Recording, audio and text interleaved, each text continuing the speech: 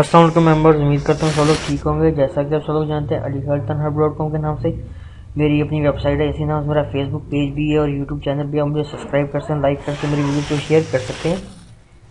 मैं आपके सामने ऐसे नुस्खा लेके आता हूँ, जिसमें one hundred ten percent accurate जो है पॉजिटिव रिज़ल्ट होता है और वही नुस्खा जाता आपको बताता हूँ, जिसमें मुझे पता है कि one hundred and ten percent accurate जो है रिज़ल्ट आपके सामने आएगा। तो मुझे काफ़ी भाइयों ने जो है इस टॉपिक को लेके मेल्स की कमेंट्स किए फेसबुक पेज पे और उसके अलावा मुझे काफ़ी जो है यूट्यूब चैनल पे भी सब्सक्राइब करने के बाद मुझे जो है ना वो कमेंट्स पेस्ट किए गए। तो मैं आप उन, ये आज जो वीडियो मैं बना, बनाई है, या बना रहा हूँ, ये खासी उन लोगों के लिए जो लोग वर्कआउट करते हैं बॉडी बिल्डिंग करते हैं, उन्होंने मुझे काफ़ी ये सवाल जो है किया था कि कि सर आप हमें बता दें कि हम जो है वर्कआउट भी करते हैं, लेकिन हमारे जिसम की शेप नहीं बनती है। और इस तरह से जो है ना सारी सवाल उनके थे कि वो वर्कआउट करते हैं। उनके काफ़ी काफ़ी टाइम हो गए दो दो साल तीन तीन साल हो गए, जिसम की शेप नहीं बनती है। उसके अलावा जो है उनको एतलाम होता रहता है कंटिन्यूसली उसके बाद के मैदे में काफ़ी गर्मी गर्मी या गर्मैश की जो है वो बीमारी भी है। उसके अलावा वो ये भी कहते हैं कि वो हैंड प्रैक्टिस भी करते हैं। काफ़ी हजरात ने जो मुझे कमेंट किया है कि वो बॉडी बिल्डिंग भी करते हैं और वो ये जो है हैंड प्रैक्टिस भी करते हैं। फिर ये भी साथ उन्होंने लिखा था कि वो लोग जो हैं वेट लगाते हैं या वेट बढ़ाते हैं तो सही तरह से वेट लगता नहीं उनसे। वो उसी वेट पे स्टेबल हैं, जो कि अमूमन वेट बढ़ाया जाता है। जैसा कि आपने तीन के से स्टार्ट किया है या दस के तक आप गए हैं तो वो इससे ज़्यादा, दस के से ज़्यादा बढ़ा नहीं पा रहे हैं। अगर बढ़ाते हैं तो वीकनेस बहुत है बॉडी में, दिल नहीं करता गेम लगाने का। तो आज का जो मेरा टॉपिक है, वो सेक्स एंड बॉडी बिल्डिंग के लिहाज से है कि सेक्स का बॉडी बिल्डिंग के साथ क्या ताल्लुक है, या सेक्स करने से बॉडी बिल्डिंग का नुकसान क्या है या फ़ायदा क्या है। तो मैंने जो है काफ़ी इसके ऊपर रिसर्च किया, काफ़ी जो है ना फीडबैक्स मैंने जो है लिए और मेरे कुछ ऐसे दोस्त हजरात हैं जो आउट ऑफ़ पाकिस्तान यूएसए में रहते हैं और वो भी वहाँ पे बॉडी बिल्डिंग कर रहे हैं और उनके कोच से जो है मैंने इस चीज़ को जो है वो जब उनके साथ मैंने बातचीत की इस टॉपिक के ऊपर तो उन्होंने मुझे जो है डिटेल में एक ब्रीफ किया। कि सेक्स का, ये बॉडी बिल्डिंग के साथ क्या ताल्लुक़ है, ये इनके नुकसान क्या हैं? तो आज मैं आपको बताता हूँ, देखें। कि अगर तो आप बॉडी बिल्डिंग करते हैं तो उस दौरान अगर आप एक दफ़ा भी हैंड प्रैक्टिस कर लेते हैं या इतलाम आपको हो जाता है तो आपके जो टेस्टोस्टोन्स हैं, वो ज़ाया हो जाते हैं। आप देखेंगे अगर आपकी मनी एक दफ़ा निकल जाती है तो वो दो से तीन दिन तक जो है, वो बनती है रिकवर होती है, जो आपकी ज़ाया हो चुकी है मनी और इसी तरह ही मनी को बनने के लिए खुराक चाहिए साथ, और उस कम से कम दो से तीन दिन में जो है, वो जो आपकी ज़ाया हो चुकी है मनी, वापस जो है वो तैयार होती है।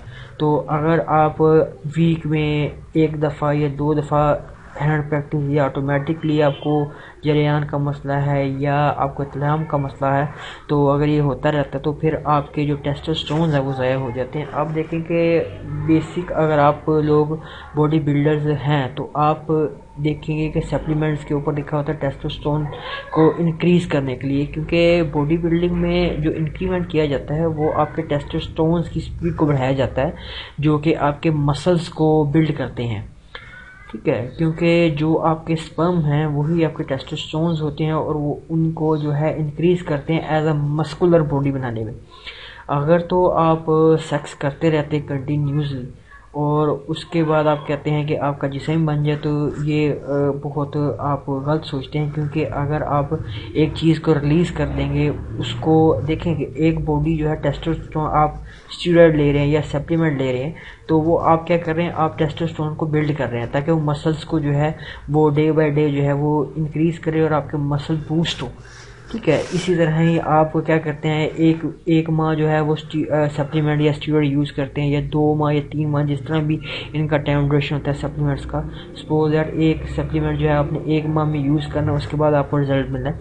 तो उसने क्या करना है, आपके टेस्टोस्टेरोन्स को इंक्रीज़ करना है, ताकि वो आपके मसल्स को बूस्ट करे और उनको बिल्ड करने में मदद दे।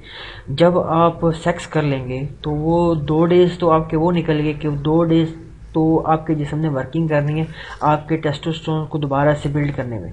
उसके बाद दो डेज़ के बाद जो है आपको, फिर जो है दो डेज़ के बाद आप देखेंगे कि तकरीबन तकरीबन तीन दिन का गैप आपको चाहिए आपके मसल्स को बिल्ड करने में दोबारा से। तो पाँच दिन तो आपके इस तरह ज़ाया हो गए फिर आप वर्कआउट करते हैं। इसी तरह से ही आपका जो जिसम है वो कंटिन्यूसली जो है वो चलता रहता है और आपकी जो फिज़िक है वो शेप में नहीं आती है। अगर तो मेरे भाइयों, आप बॉडी बिल्डिंग करते हैं तो काइंडली आप ये सेक्स को छोड़ दें। और सेक्स को छोड़ने के बाद जो है, आप, अगर आप वाकई ही चाहते हैं कि आपकी जो फिज़िक है, आपकी जो बॉडी है, वो एक्यूरेट हो तो आप जो है सेक्स को लीव करें। और उसके बाद अगर आप गेम करना स्टार्ट करेंगे तो इन आपको फ़ायदा होगा। हाँ अगर आप हैंड प्रैक्टिस करते हैं तो फिर आपको कोई फ़ायदा नहीं होगा, क्योंकि आपको फिर बॉडी बिल्डिंग करने का भी कोई फ़ायदा नहीं है, क्योंकि जब तक आप हैंड प्रैक्टिस करते रहेंगे तो बॉडी बिल्डिंग का हैंड प्रैक्टिस इस तरह है, जिस तरह आप कहते हैं, सांप और नेवला होता है। ठीक है? क्योंकि देखें कि सांप का क्या होता है? सांप और नेवले की लड़ाई हमेशा रहती है। इसी तरह ही बॉडी बिल्डिंग और सेक्स का भी ताल्लुक है आपस में। अगर आप सेक्स करेंगे तो बॉडी बिल्डिंग आप नहीं कर पाएँगे। वीकनेस रहेगी, कमज़ोरी रहेगी आपको। और दूसरा, आपकी जो बॉडी है वो कभी भी जो है ना वो बिल्ड अप नहीं होगी बूस्ट नहीं करेगी। क्योंकि आपके टेस्टोस्टेरोन सारे रिलीज़ हो रहे हैं, ज़ाया हो रहे हैं। जिसकी आपको सबसे ज़्यादा ज़रूरत है, वही चीज़ आपकी जो है सबसे ज़्यादा ज़ाया हो रही है। क्योंकि मसल बिल्ड करने में आपको वो आपके जिसम में होंगे तो आपका मसल बिल्ड होगा। अगर आपका जिसम जो है वो टेस्टोस्टेरोन को पूरा करता रहेगा तो आपकी बॉडी कब बनेगा? तो इसी तरह ही जो है सेक्स का जो है ताल्लुक है बॉडी बिल्डिंग के साथ। तो मेरी आप लोगों से दरख्वास्त है कि अगर आप बॉडी बिल्डिंग करना चाहते हैं तो सेक्स को छोड़ें और उसके बाद एक माह आप करके देख लें। तो इन आपको खुद पता चल जाएगा बाकी जो मैं कह रहा हूँ कि वो 110 परसेंट एक्यूरेट है या नहीं है।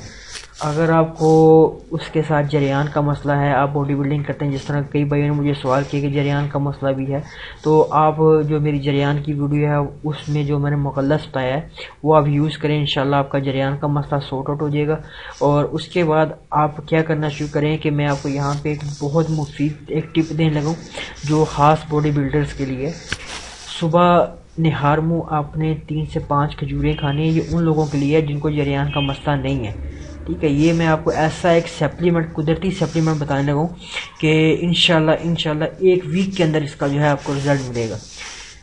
तीन से पाँच खजूरें आप ले लें, कोई भी खजूर हो, ठीक है, और आपने एक दूध का गिलास, जो है नीम गर्म दूध का गिलास, उसको जो है ना, उसके साथ आपने खा लेना है, ठीक है। उसके बाद आप घंटे के बाद जो है नॉर्मल आप नाश्ता कर सकते हैं। ठीक है अगर आपको नहीं भूख लगती है तो आप दोपहर के टाइम जो है सैलड यूज़ करें। और इस तरह अगर आप अपनी वर्कआउट को कंटिन्यू करते हैं इन चीज़ों के साथ तो इन एक वीक के अंदर आपको जो है इसका फ़ायदा मिलेगा। क्योंकि जो चीज़ मैंने आपको बता दी है, ये इतनी एक्यूरेट है कि आप जब कर लेंगे इसको तो आप मुझे खुद इसका रिज़ल्ट देंगे। ठीक है, बाकी जो मैंने आपको बताया है, आप उसको उसी तरह ही करेंगे तो इन आपको 110 परसेंट जो है उसका फ़ायदा होगा। मुझे नेक्स्ट टाइम तक की वीडियो के लिए इजाज़त दें। खुदा हाफिज़।